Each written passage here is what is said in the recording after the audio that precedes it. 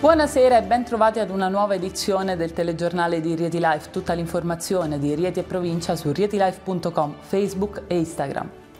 Takeda si conferma tra le maggiori realtà industriali del Reatino. Oggi a Roma la presentazione del piano industriale che riguarda soprattutto lo stabilimento di Pisa e quello di Rieti.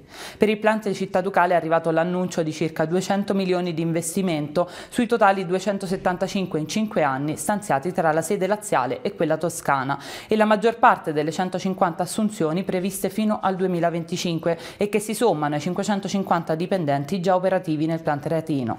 Solo 100 milioni di di euro concorreranno all'acquisto e all'installazione di nuovi macchinari nello stabilimento di Rieti. Alla presentazione hanno partecipato anche il ministro degli esteri Luigi Di Maio in video e il ministro dello sviluppo economico Giancarlo Giorgetti. Per Di Maio Takeda è un asset strategico nella partnership economica tra Italia e Giappone. Torna la pioggia sul Reatino per i prossimi giorni, già da domani, secondo Trebi Meteo rovesci sulla città e sulla provincia, con temperature minime in rialzo e massime in lieve ribasso tra 2 e 14 gradi centigradi. L'arrivo della pioggia dopo diversi giorni senza rovesci preoccupa la protezione civile che ha emesso un avviso di condizioni meteorologiche avverse. Dal mattino di domani, mercoledì 30 marzo e per le successive 24-36 ore si prevedono sul Lazio temporali, frequente attività elettrica e forti raffiche raffiche di vento. Il centro funzionale regionale ha inoltrato un bollettino con allerta gialla. Incidente intorno alle 15.30 di oggi pomeriggio sulla Salaria a San Giovanni Reatino al chilometro 70 più 200. Due auto si sono scontrate frontalmente.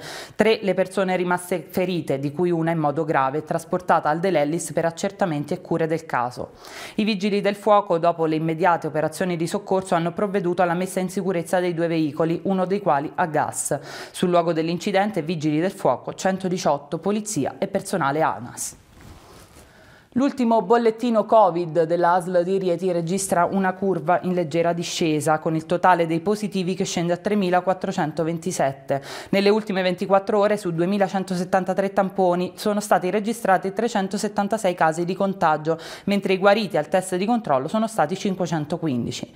Anche in città si vedono i primi segnali di miglioramento dopo settimane di risalita dei positivi. Nell'ultimo monitoraggio sono 126 nuovi casi e 210 negativizzati con il totale totale dei positivi nel capoluogo che scende a 1227. Si registra però anche un ulteriore decesso, una donna di 89 anni ricoverata al Delellis in malattie infettive. Secondo ASL si tratta di un soggetto complesso, fragile ma vaccinato. Il Rieti torna in campo allo Scopigno domani alle 14.30 per il turno infrasettimanale del girone E della Serie D. L'avversaria è il Cannara ed è uno scontro direttissimo. Il Rieti è a 6 punti dalla salvezza, a 21 punti, rispetto agli Umbri ne ha 3 in più. Arbitra Cevenini di Siena. All'andata vinse il Rieti 1-0 e l'avversaria sulla carta è abbordabile. Non vince da 11 turni. Il tecnico però non ha Tortolano, Matteo Menghi e Signate, mentre rientrano Perez e Tiraferri. Sull'11 titolari titolare sarà di nuovo ampia scommessa, ma la base sarà il solito 4-3-3 con la fase offensiva affidata a Bari e a compagnia, oltre che a Koulibaly. Di calcio si parla stasera in pillole di Sport Life dalle 21 su rietilife.com, Facebook e Instagram. Era questa l'ultima notizia del telegiornale di Rieti Life che torna domani sempre alle 20.45 su rietilife.com, Facebook e Instagram. Buona serata.